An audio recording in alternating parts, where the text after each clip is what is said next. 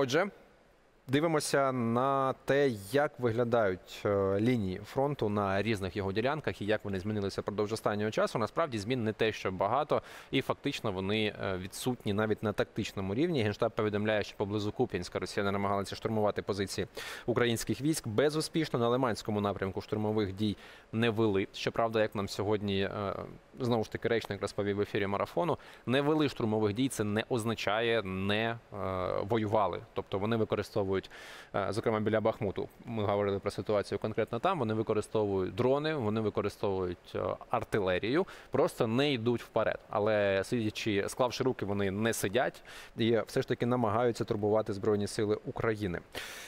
Ем, Я включав історію, не буду вам її включати. Насправді, от між Куп'янськом та Лиманом нічого критично не змінилося. Так само ситуація залишається стабільно складною довкола Авдіївки.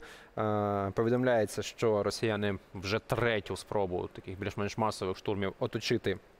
Е, Місто Е, здійснюють поки також не безуспішно. У них є просування на флангах, але не настільки суттєві, е, щоб стверджувати, що положення захисників Авдіївки якимось чином серйозно погіршилося. Продовжують росіяни, я вже це зазначав біля Бахмуту, намагатися штурмувати українські збройні сили там контратакують. Також росіяни намагаються відновити втрачені позиції поблизу роботиного. Знову ж таки. Для них це завершується поки е, безуспішно. Збройні сили України натомість тиснуть на росіян на Мелітопольському напрямку. Ну і плацдарм на лівому березі Херсонської області все ще на мапі і все ще оповитий такою завісою таємничості. Достеменно ми не знаємо, що там відбувається, але ми знаємо, що Збройним силам України вдалося закріпитися на е, цій території. І я думаю, е, більше в принципі тут нічого обговорювати. Треба розуміти, що варіантів того, як буде розвиватися ситуація з цим плацдармом.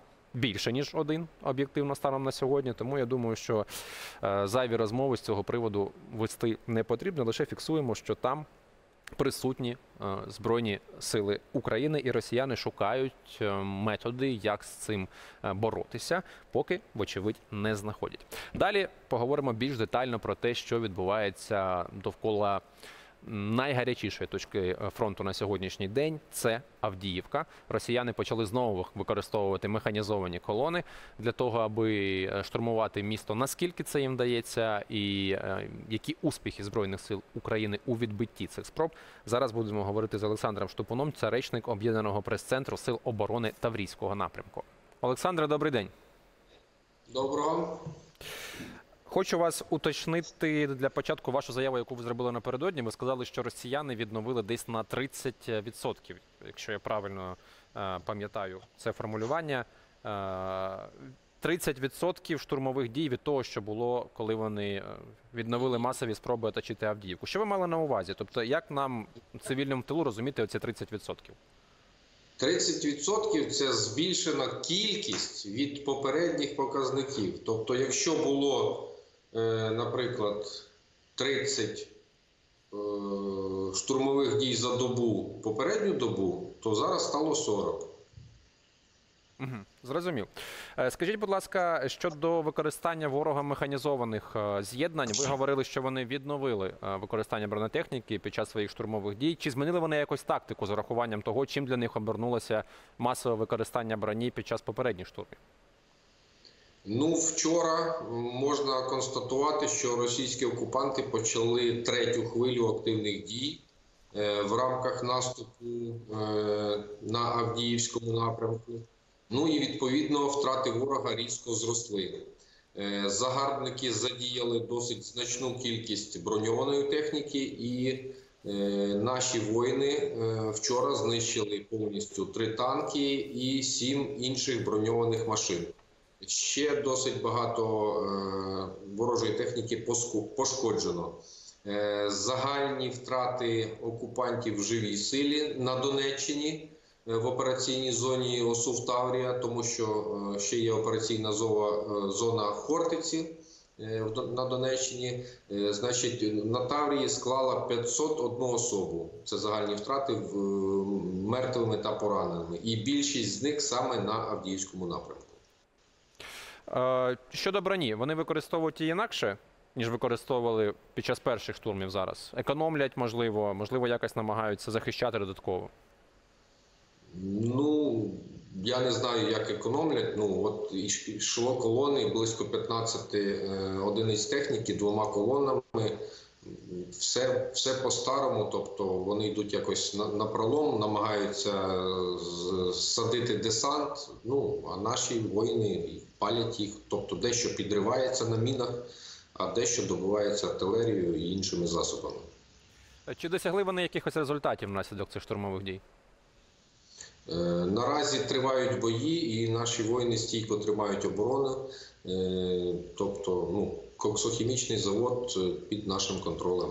Ми сьогодні спілкувалися з представником е, збройних сил, який розповів, що поблизу Бахмуту росіяни дуже активно останнім часом використовують е, дрони для ураження як живої сили, так і живо, е, так і техніки українських збройних сил. Яка ситуація з безпілотною авіацією поблизу Авдіївки? Е, Ворог е, застосовує щодоби, ну, в залежності від погодних умов, від 50 до 100 одиниць, скажімо, фіксується застосувань дронів.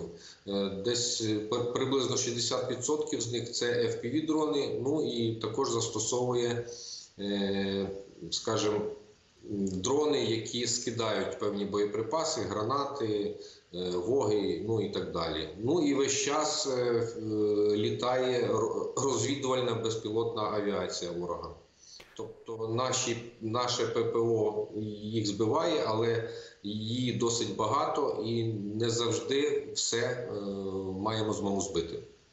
Олександра, а як змінилося кількісне групування, як живої сили, так і е, кількість техніки, яку росіяни сьогодні тримають довкола Авдіївки? Е, На Авдіївському напрямку загалом е, понад 40 тисяч е, російських окупантів. А хто входить в це число? Які е, сили, які з'єднання можливо, і хто ці люди, які е, входять в них? Це в основному е, мотострілецькі, ну, скажімо, частини. Е, Ну, звичайно, є артилерія, є танкові, які це все підтримують. Е, В основному більшість з них це, скажімо, кадрові, е, кадр, кадрові, але е, десь свіжо мобілізовані або, або набрані з резерву, е, не завжди, скажімо, ті, що брали участь у бойових діях. І, і, в, штурмов, ну, в штурмових загонах дуже багато так званого спецконтингенту, яким ворог ну, намагається штурмувати наші позиції. Олександр, наостанок хочу вас поцікавитись е, щодо тих корективів, які вносить погода в бойові дії. Погода, ну, по-перше, впало листя, випав сніг. е, Окупантам е, досить важко маскуватися. Тобто наші, на- наші аеророзвідники, наша розвідка їх бачить і е, вражають. Тому вони вдаються до деяких хитрощів, е, намагаються е, прикидаються мертвими або ховаються якщо це відкрита місцевість, ховаються під раніше ліквідованими російськими штурмовиками.